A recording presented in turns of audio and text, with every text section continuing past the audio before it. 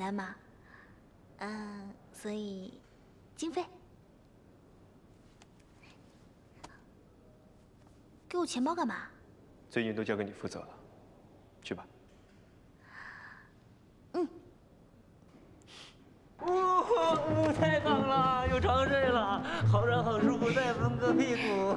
哎呀，有妹子啊，就是不一样，在这里啊，有吃有喝有睡，还有小伙伴俺呀都不想回俺的狗窝了。哎呀，桑桑，你简直就是传说中的田螺姑娘啊！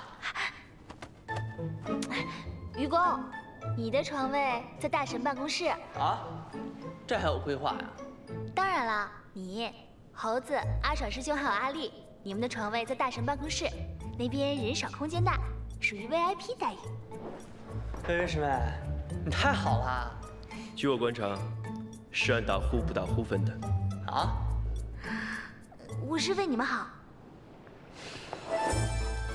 其实，哎，太细心太周到了，这样我就能睡个安稳的好觉喽。我的床在哪儿？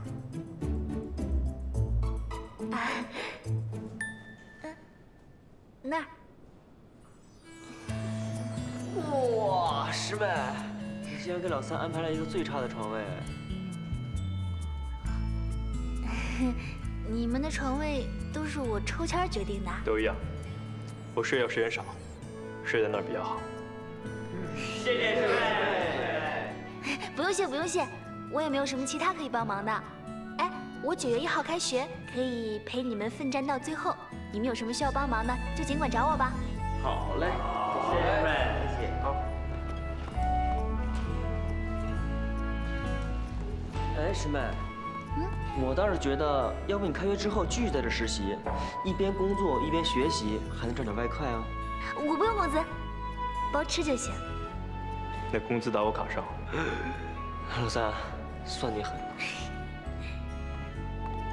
谢谢。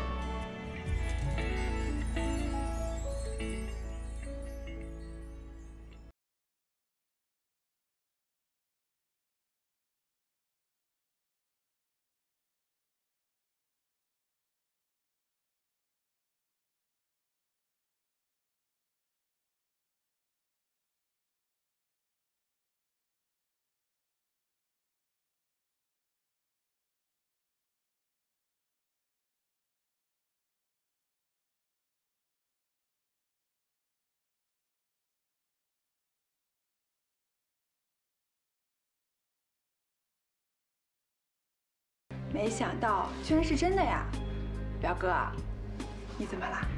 什么怎么了？男人为了自己的事业好好奋斗一下，很正常啊。表哥，你要是这么想，那舅舅肯定高兴死了。其实啊，本来我是为了堂堂正正打败肖奈，才决定好好拼一下的。但没想到后来我发现游戏设计比我想象的有趣多了，就算是歪打正着。找到自己喜欢的事儿了吧？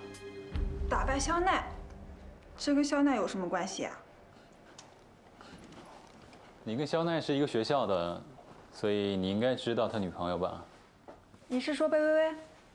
贝微微，她不是姓卢吗？如果是肖奈的女朋友，那就是贝微微呀。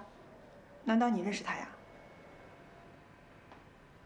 好啊，我这是又被骗了。表哥，你认识贝微微吗？她为什么说自己姓卢啊？是她告诉你自己姓卢吗？我认识的女人多了，不多她一个。而且你也知道，女人都古灵精怪，喜欢跟男人玩一些小把戏，也很正常。好了，我要工作了。哎，封腾也是够奇怪的，好端端提前了大半个月。真是忙死了。为什么表哥要打败肖？